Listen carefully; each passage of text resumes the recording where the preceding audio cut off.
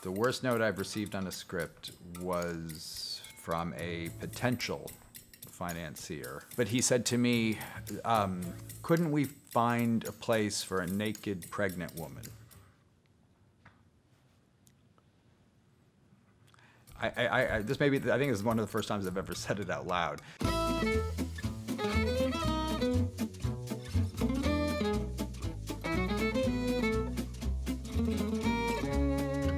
Probably uh, Errol Flynn's Robin Hood. Gene Kelly movies, like Singing in the Rain and American in Paris. It had everything in that movie. It was funny, it was exciting.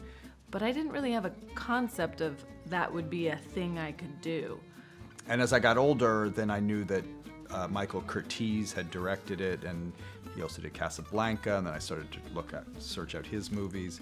Yeah, Gene Kelly films are the ones that made me kind of hope, but I didn't think I could do it.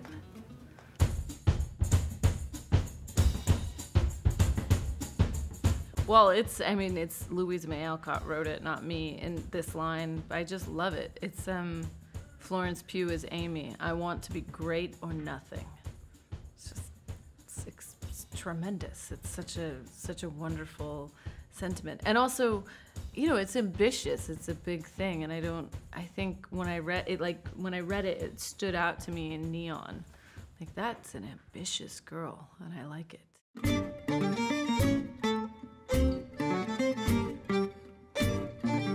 Well, I just recently, uh, just like two nights ago, was at a, an event and Nick Cave, the, the singer, not the artist, um, although the artist may have been there too. Santigold.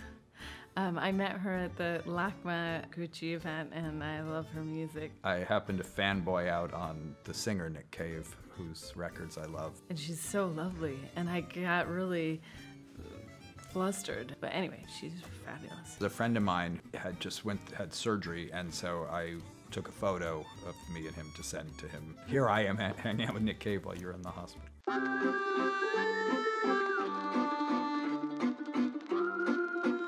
don't know. What are the stereotypes of indie filmmakers? Oh, I guess maybe that we're uh, there's any kind of pretension there. I don't know if that's a stereotype of indie filmmakers, but um, I feel like mostly indie filmmakers are just people making films without any financing. It's not. It has nothing to do with their their their heart or you know. I feel like it's just it's just where you start out. I mean, even Steven Spielberg was once an indie filmmaker before Jaws.